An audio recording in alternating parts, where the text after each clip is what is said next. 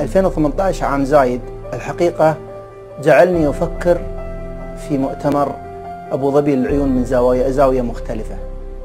أنظر له من قيم زايد. ما هي القيم التي غرسها زايد؟ فينا كإماراتيين وفينا كعرب. وما هي القيم التي أسست مؤتمر آه، أبو ظبي للعيون؟ مؤتمر أبو ظبي للعيون بدأت فكرته بسيطة ونحن اليوم في دورته الثانية.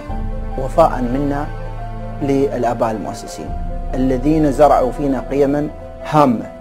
لذلك وفاء منا وعرفانا لما قدموه لنا. نقدم لكم مؤتمر أبو ظبي للعيون برا بقسمنا الذي أقسمناه عند التخرج كأطباء بأن نعلم من يصورنا هذا المؤتمر هدية ووفاء منا لقسمنا ولآبائنا ولآباء المؤسسين. نقدم العطاء لإخواننا على مستوى آه، دول الخليج أو على مستوى العالم العربي أو يتعدى ذلك للعالم نجتمع تحت مظلة واحدة لنعزز قيمة من القيم التي غرسها زايد الخير ألا وهي الوحدة ألا وهي الاجتماع. كانت أبو ظبي والإمارات بشكل عام سباقة في اجتماع الأخوة. مؤتمر أبو ظبي لطب العيون استقى قيم ولكنه أخرج قيم في فريق العمل وأنتج مؤتمر أبو ظبي لطب العيون الأول. مؤتمر أبو ظبي لطب العيون يجسد قيمة الإخاء الحقيقي من أجل الارتقاء. الارتقاء بالوطن الارتقاء بالفرد الارتقاء بالفرد الارتقاء بالتعليم.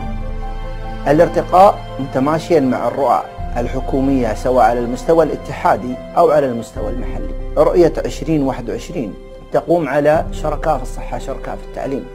وعندما نتحدث عن آه، الرؤية المحلية 2030 تقوم على اقتصاد مبني على المعرفة مستدام مع التركيز على القطاع الصحي والقطاع التعليمي. لذلك هنا ندمج بين الصحة والتعليم عندما نتحدث عن أدوار مؤتمر ريعة يذهب للبحوث العلمية ولتطوير الدراسات العليا في طب العيون. ألخص مؤتمر أبو ظبي للعيون في وفاء عطاء إخاء وارتقاء. حياكم الله في مؤتمر أبو ظبي للعيون